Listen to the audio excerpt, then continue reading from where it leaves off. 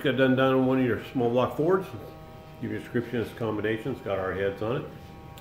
Got the Pro M manifold, AccuFab throttle body, obviously fuel management, Terminator X, great system. Custom grind hydraulic roller. This be a GT40, got the front end on it. Got the Aviaid oil pan, nice piece. Take you in there, show you how it ran.